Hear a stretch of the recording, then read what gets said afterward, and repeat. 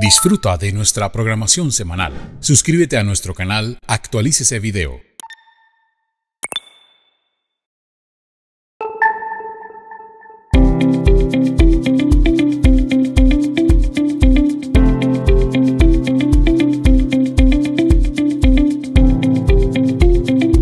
Vamos a iniciar indicando que la revisoría fiscal, pues cuando nosotros obtenemos nuestro título de contador público, de cualquier institución reconocida por el Ministerio de Educación Nacional y por el Gobierno Nacional, obviamente, eh, obtenemos ese título de contador público.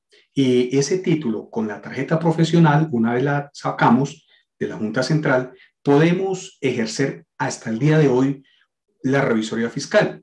Claro, en este momento hay un eh, proyecto de norma, hay un proyecto de norma que quiere precisamente eh, colocarle algo de experiencia, algo de profesionalismo, más profesionalismo a esta institución que es propia de nuestro eh, diario vivir, como es la revisoría fiscal.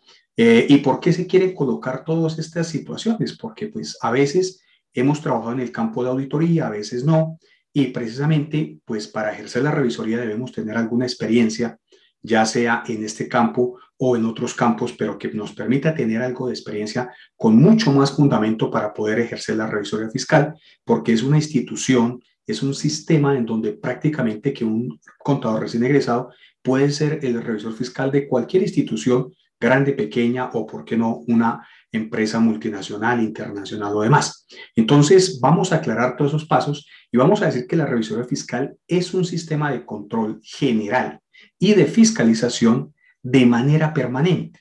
¿Qué significa esto que traigo a colación? Que no es que vayamos cada mes, como a veces se pretende dar a entender, no, es un sistema de control permanente, es casi que a diario.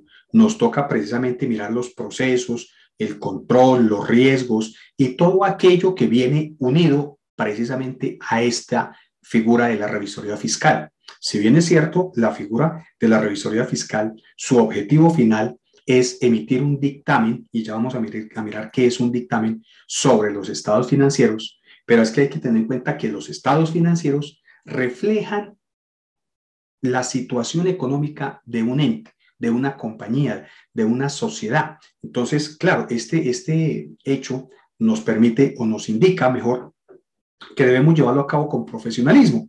Entonces debe ser eh, emitido por un experto ese dictamen y ese dictamen debe ser sobre los estados financieros que sean confiables en la organización. ¿Por qué digo que sean confiables? Porque ustedes dirán, y es que hay estados financieros que no sean confiables, posiblemente hay situaciones en donde vamos a mirar más adelante qué situaciones se pueden prestar para el fraude.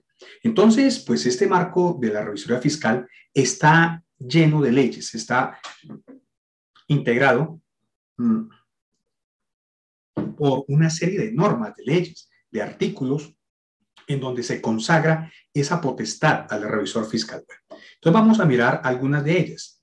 Está la ley 58 de 1931 en el artículo 26, donde se estableció sus incompatibilidades en los artículos 40 y 41, sus responsabilidades. Entonces, pues allí también vamos a mirar cuando un, revisor fiscal eh, tiene inhabilidades o incompatibilidades. Entonces, son dos procesos totalmente diferentes, pero que de todas maneras pueden llegar a abstenerse de un revisor fiscal, poder ejercer esa revisoría, ese encargo en una compañía, en una organización, en un ente.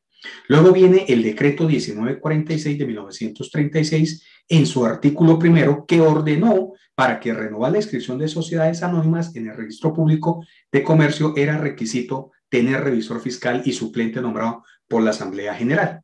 Luego, el artículo 207 y 209 del Código de Comercio, a través de los artículos se establecen las principales funciones del revisor fiscal. Posteriormente, la Ley 43 de 1990 establece y la, reforma de esta norma sobre el estatuto de la profesión contable. Entonces, la Ley 43, recordemos que es la norma de la profesión contable.